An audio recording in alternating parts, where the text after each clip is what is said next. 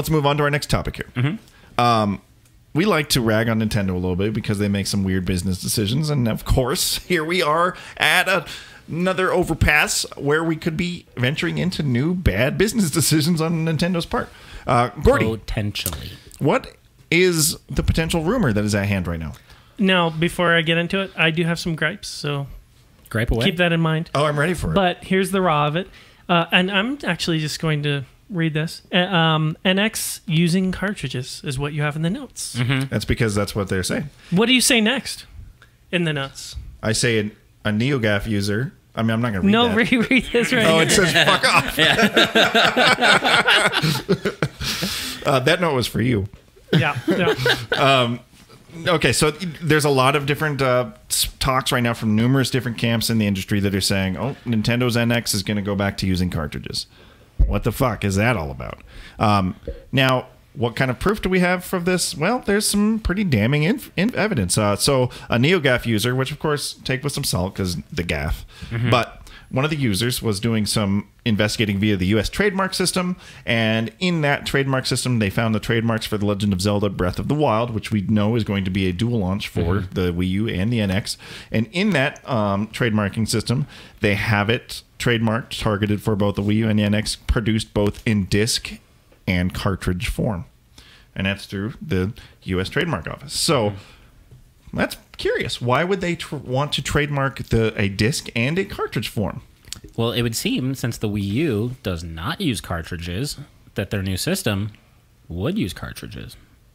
That would be how we would probably break But that down. That doesn't make sense from a cost point because so as Share, share, share history. share some history about the cost of cartridge games back in our day. this is kind of. I'm going to kind of double up on it. Why I don't think it's a thing. okay. Oh, so you don't think this is legit? I, I, eh, I could be wrong, and I'll eat my words, but You'll eat something. Um, mm-hmm. I gotta move this table. What are you doing, I'm man? fucking. I'm suffocating. Okay. I just gotta stretch out like Thanksgiving back here. You're like undoing your pants, like, Ugh. like Eli Roth. Thanks, Thanksgiving. Okay. So, um, I think that we would have heard something about it. I mean, they have to start constructing these things. So, what are you going to need? You're going to need factories. Did was it you I had this argument Yes. with today? I was Yeah. gonna say I, I already I've heard to this before. Yeah. Uh, they're going to need factories. Employees are going to have to have some dude running the Juki, some guy doing wire bonding, another guy doing, you know, soldering. They're going to have to have. The fuck is a Juki? what's Juki? It's a. It has something to do with um, PCB boards. oh, But anyway, Okay. it, it it's pre. Who cares? Exactly. Anyway, um, Juking it. so they're going to have to get these PCBs essentially and put- Pacobies is what I like to call them. Pacobis, Yep. and attach you know chips and all kinds of nonsense, and that's just a huge labor force they're going to have to hire. Do they? I I don't. I mean, Or do you just take an existing tech, like um, as they were saying in the chat, like Uh-huh. something like you know a flashcard basically, Uh-huh. install it in that, and then put it inside of a proprietary cartridge. cartridge, and then make that fit. So But you would- use an existing tech. So does the picture show a PCB? I, I don't know that there is a picture. I don't think any of They're- them leaked. They just They yeah. Just a cartridge So as far as I know, it's just written documentation. So if it's a not a Goldfinger cartridge with you know Goldfinger. in typical fashion, which cost a lot of money, which is what kind of pushed the um, the optical disc market right. back in the '90s. Now, when we Um, were kids, I don't think it's gonna happen. Nintendo and NES games, because of their cartridge base, cost upwards to seventy nine ninety nine, Easily, very. and that was like a normal thing. Yeah, That's actually one thing that inflation has gone reverse on is games are cheaper now than they ever were.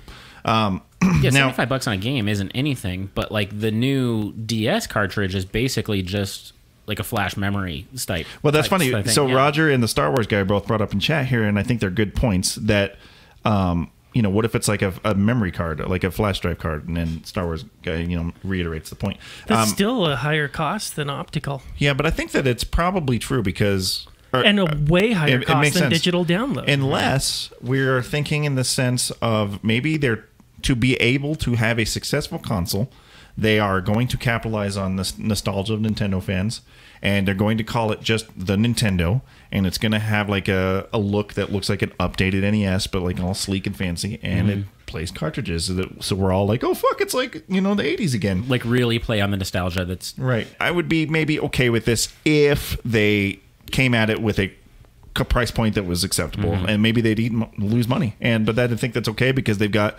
like eighty billion dollars in the bank anyway, so they could probably go sell at a loss for a few years. I don't know.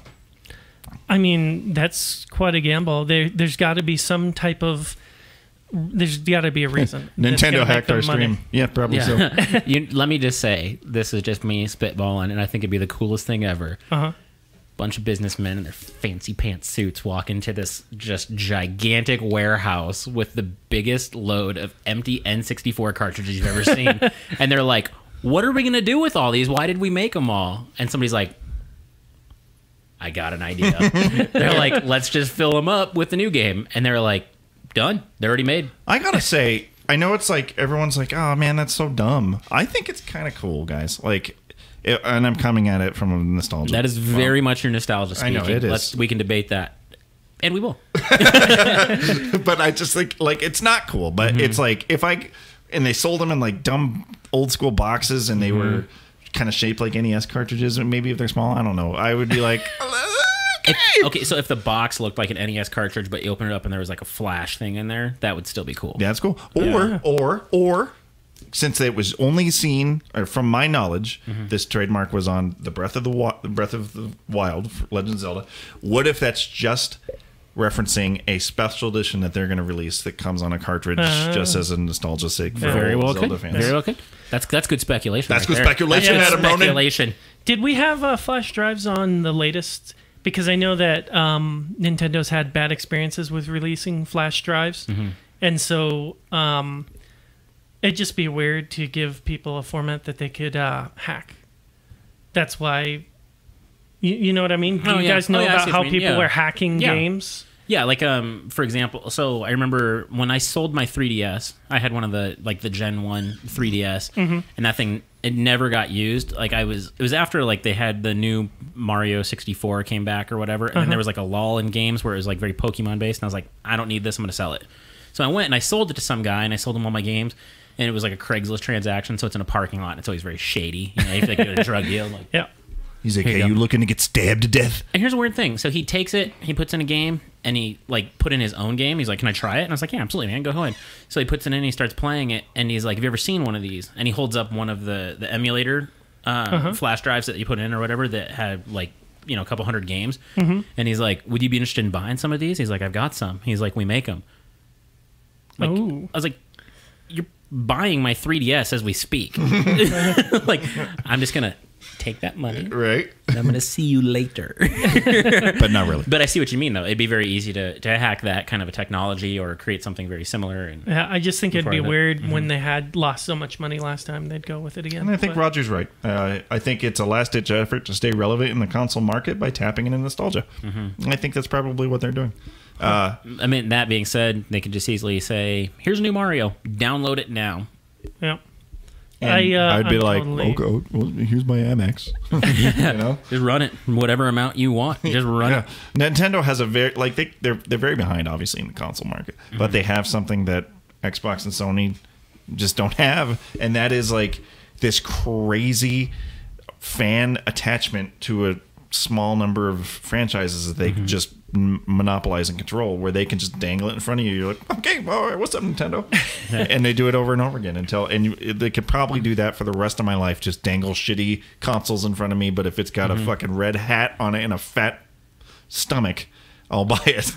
Mario, I'm talking about Mario. Yep, yep, yep. Oh, never mind. Uh, but anyway, um, there's that. Yeah. Yeah. Mm-hmm. Um, I can't say from from a perspective of a person who has a couple little ones himself. I would love to get away from cartridges. Oh yeah, Oh, because yeah. like, no, especially if they're flash drives. Where's my Mario game? yeah, Find Mario in a diaper someday. Digital download all the way. uh, it's like super shitty. Uh, Uh, Okay. awful. Moving on. Uh, all right, what's next?